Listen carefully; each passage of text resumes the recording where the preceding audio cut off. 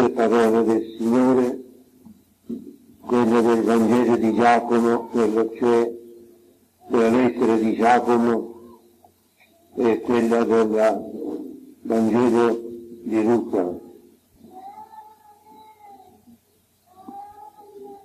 Maria conserva le parole di Gesù dentro il suo cuore. Maria si erge davanti a noi come una donna silenziosa, avere le mani operose, la bocca silenziosa. Ma il cuore è pieno della parola di Dio. Nella prima lettura l'Apostolo Giacomo si parla della lingua, una lingua che è un piccolo membro, eppure condiziona tutto l'uomo. Dalla lingua esce il bene ed esce il male. La lingua è una piccola cosa in confronto alle altre membra, eppure quanto bene e quanto danno fa la lingua. E un fuoco acceso, la lingua, in tante bocche,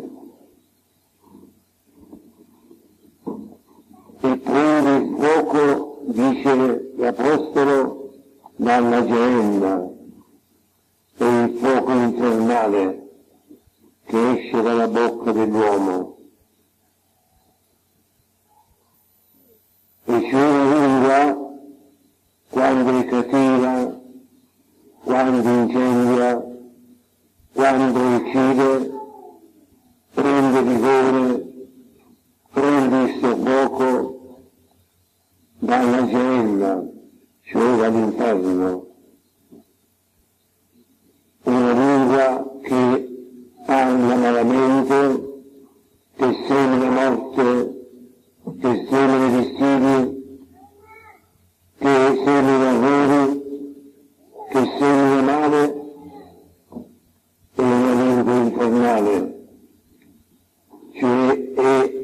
l'inferno, la gioia che si manifesta nella bocca dell'uomo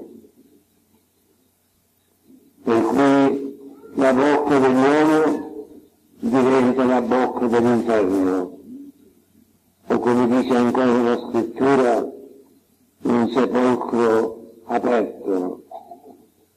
Quando si apre un sepolcro si ha la carne putrefatta e c'è un fetore nauseante, così è la lingua, così è la bocca parla male. È un sepolcro aperto oppure la bocca dell'inferno che semina morte.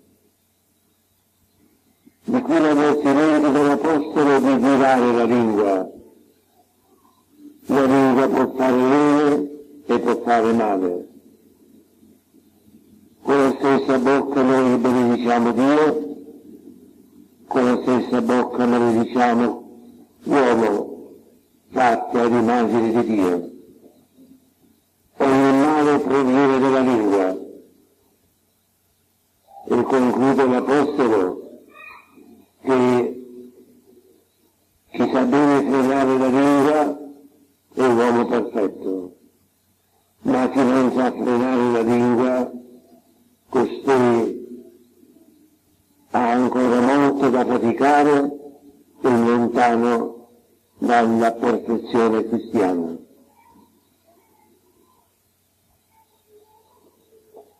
Qual è il male che fa la lingua e qual è il bene che fa la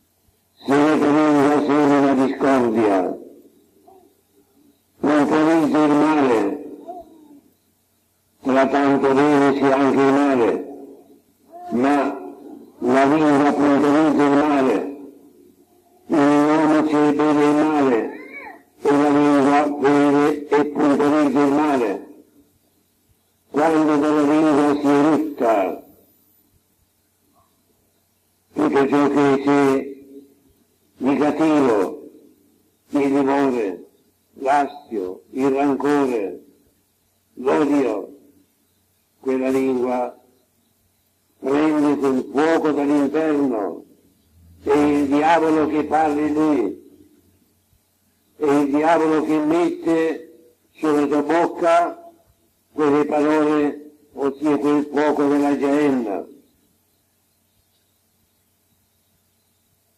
E noi con la lingua, dice l'Apostolo, possiamo seminare tanto male. E come un accendino, che cose non vi anniverò in una foresta, non vi annivere niente, eppure puoi incendiare una foresta.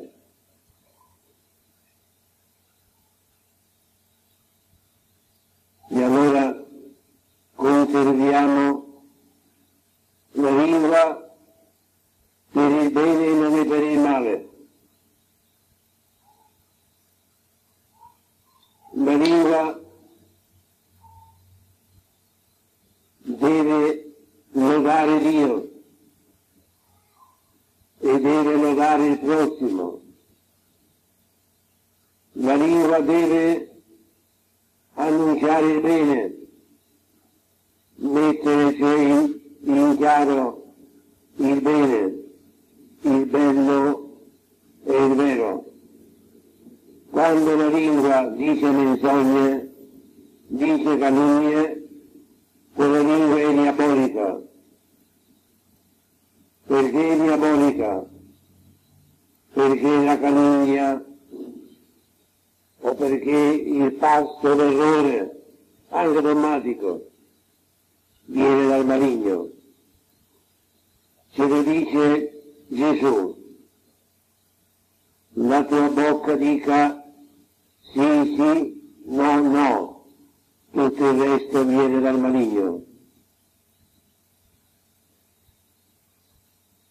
Quante volte la nostra bocca parla né il maligno che parla per la nostra bocca e semina discordie, male, divisioni, semina ogni sorta di, di male per cui si può incendiare anche una foresta.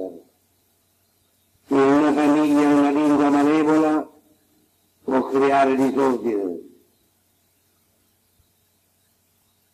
in un gruppo basta una lingua cattiva per creare incendi, per seminare male.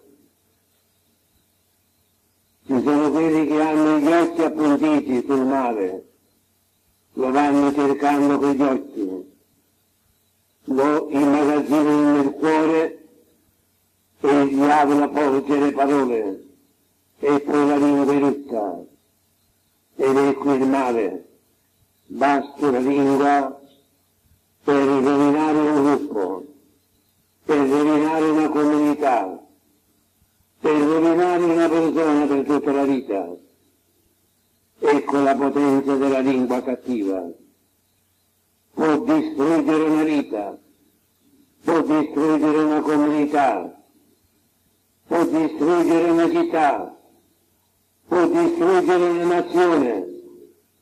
Ecco la potenza della lingua malvagia, quando è dominata dalla falsità, quando è dominata dall'odio.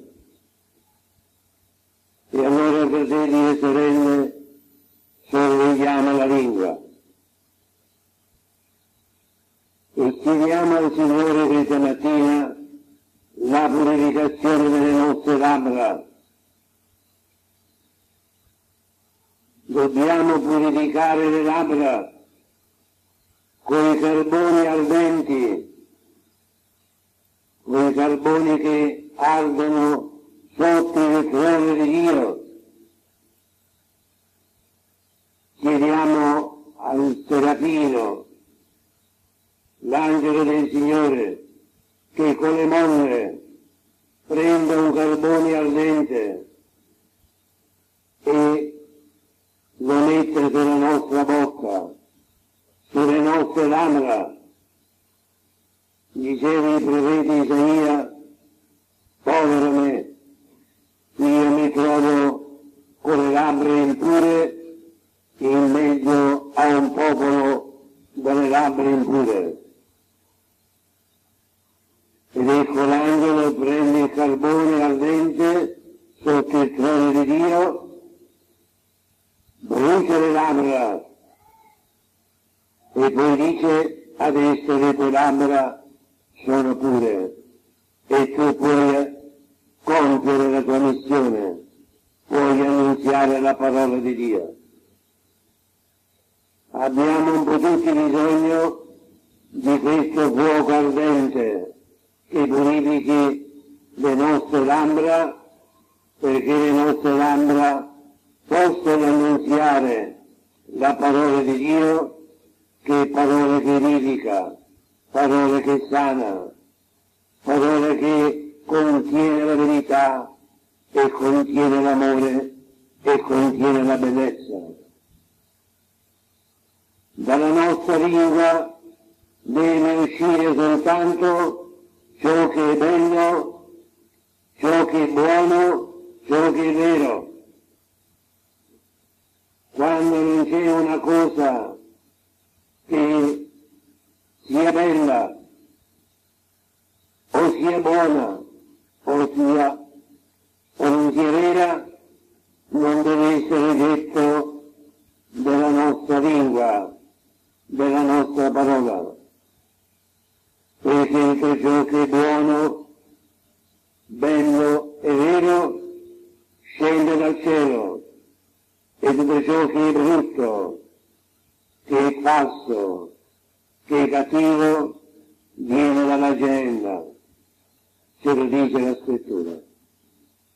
E con la stessa bocca può benedire e può maledire, può essere strumento di Satana è strumento di Dio. Anche senza accorgersene. Satana può parlare per la nostra bocca. Quando produce male è il maligno che parla. Non siamo noi, è il maligno. Anche dietro che voleva persuadere Gesù, deve andare a patire diventò bocca di Satana. Dopo che era diventato poco tempo prima, pochi minuti prima, bocca di Dio. Non la carne e il sangue te l'hanno rivelato Pietro, ma il Padre mio che sta nei cieli. Avevo confessato la divinità di Gesù e quella bocca era la bocca della verità, la bocca di Dio poi aveva cercato di infodere Gesù dalla passione ed era Satana che parlava per bocca di lui ed era un uomo buono. siamo molto vigilanti perché non salga dalla genna la nostra parola, ma scende dall'alto, scende dal verbo di Dio che parola, la parola che noi diciamo.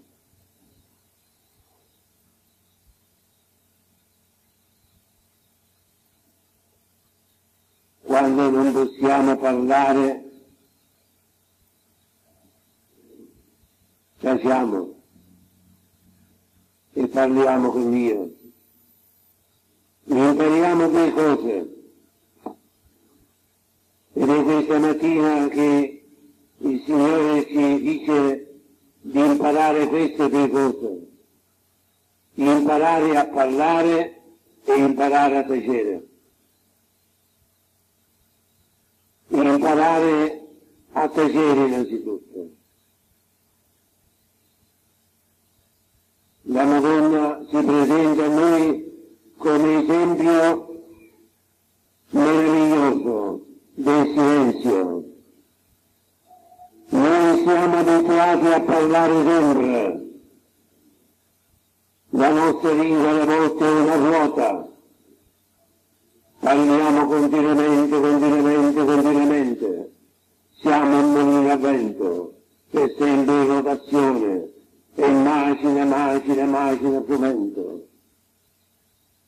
Dice la scrittura che quando uno parla molto già è stolto, perché il multilocchio abbonda sulla bocca dello stolto, mentre il sapiente, il saggio, dice poche parole.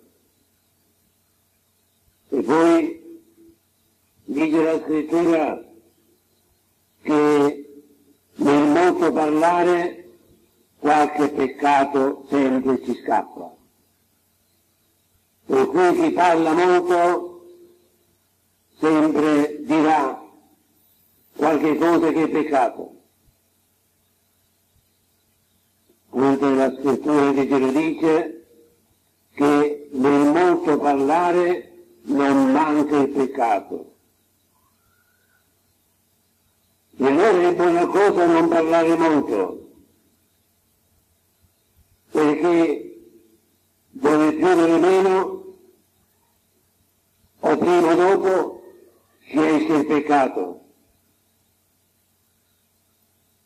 Imparare a tacere, come diceva Gesù, il tuo parlare sia sì, sì, no, no. Il resto viene dal maligno. E dice ancora la scrittura, e Gesù che lo dice, di ogni parola oziosa dovete rendere conto a Dio. Si tratta di parole oziose. Parole oziose.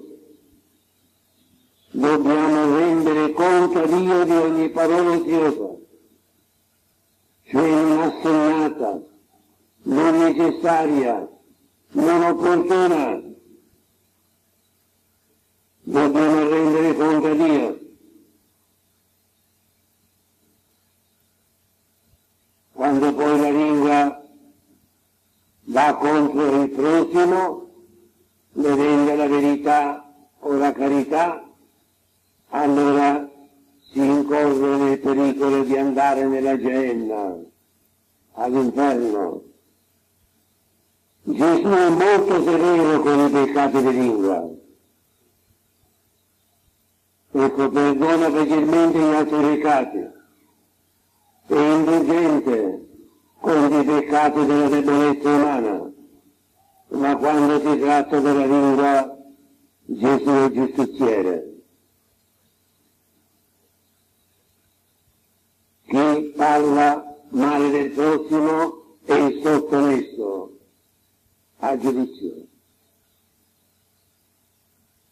Chi poi dovesse dire al fratello raca, cioè disgraziato, la l'altra parolaccia che lo offende gravemente, va all'inferno, e degni dell'inferno. Noi siamo molto, ma molto superficiali al riguardo. Ecco perché siamo seminatori di morte senza che ce ne accorgiamo. Chi conturba gravemente il prossimo con la propria lingua incorre nel giudizio di Dio. Soprattutto quando noi facciamo dei peccati. Il peccato nella calunnia. La calunnia si ha quando noi diciamo il falso del prossimo o non siamo sicuri di qualche cosa e lo diciamo come sicura. Oppure quando aumentiamo talmente una cosa che diventa un'altra cosa, quella è calunnia. C'è l'apparvenza della verità o c'è una piccola verità, ma noi la ingiganttiamo tanto, la montiamo tanto che diventa una grande cosa e allora diventa calunnia e la calunnia è peccato mortale. La calunnia che fa male al prossimo è peccato mortale, peccato contro la verità e contro la carità. La denigrazione, quando un uomo denigra un altro su una cosa vera, è diverso dalla calunnia.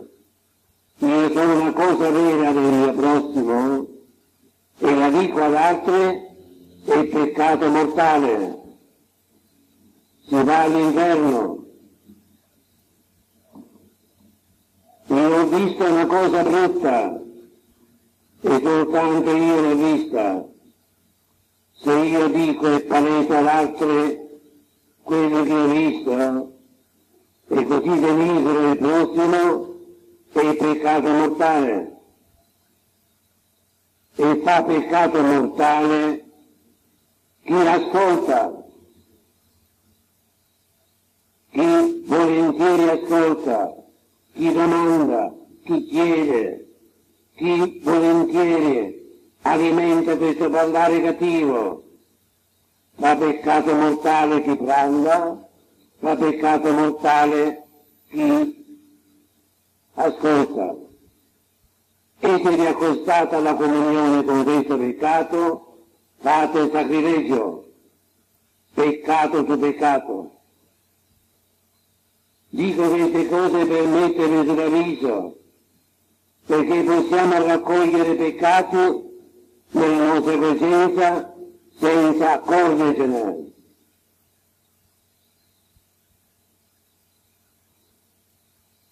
quando manchiamo gravemente contro la verità o contro la carità, noi siamo re davanti a Dio e davanti al prossimo, perché prossimo ha diritto alla stima degli altri, ha diritto ad essere così riverito dagli altri,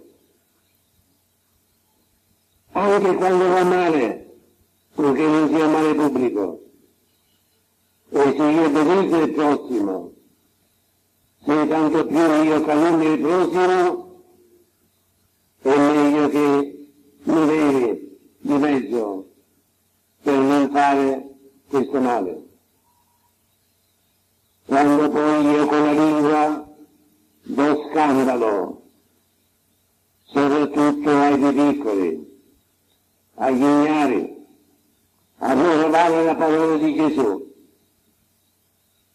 Chi scandalizza il prossimo, soprattutto quelli che credono in me, è meglio per lui che si appenda al collo una macchina da mulino e si vada a buttare a mare, in modo da non morire più a galla e si tolga questa feccia dalla faccia della terra. Ecco Gesù sapeva dire anche parole dure, quando si tratta appunto della lingua. Perché la lingua ci è stata data per annunciare il bene, per annunciare il vero, per mettere in risalto le cose belle. La lingua è strumento di verità e di bontà.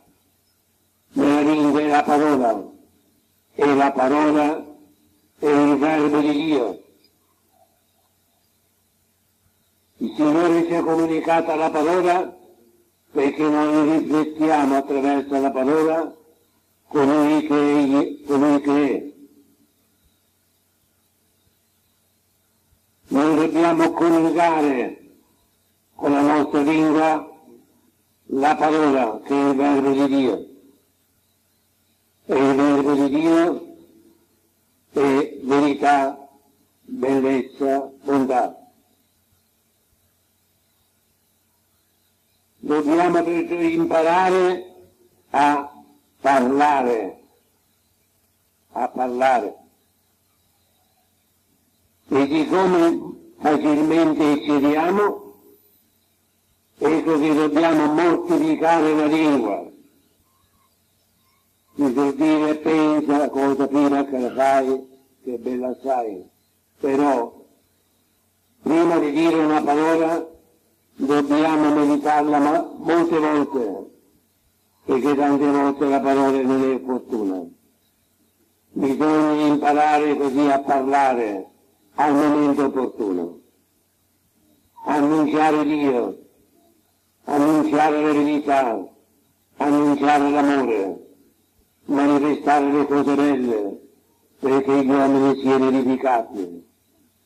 Impariamo a parlare, ma per imparare a parlare bisogna imparare a tacere.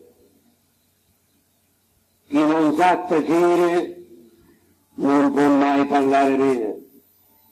Imparare a tacere. La parola di Dio deve essere maturata dentro il nostro cuore, deve essere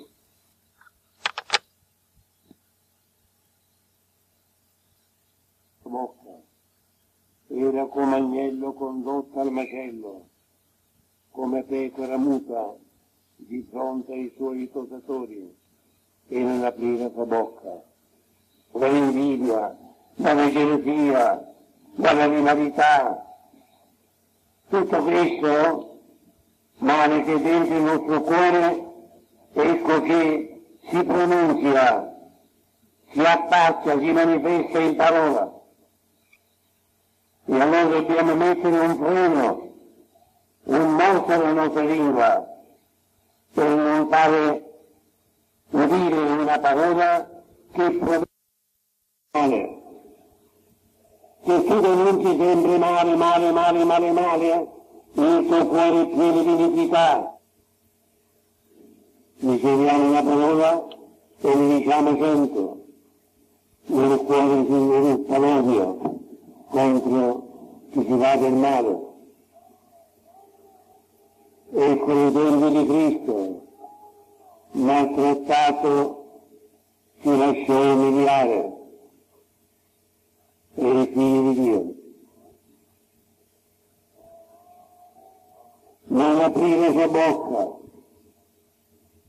era come un agnello condotto al macello, veniva condotto al macello ed era muto, come pecora muta di fronte ai suoi tosatori. Gli levavano la lana e faceva e il Dio non aprì la sua bocca. O Signore Gesù, vogliamo prendere esempio da te e da Maria nostra Madre Signore, ti chiediamo di imparare a tacere e di aprire la bocca al momento opportuno per annunciare la tua gloria, le tue meraviglie, per invitare gli uomini a levarti e a benedirti.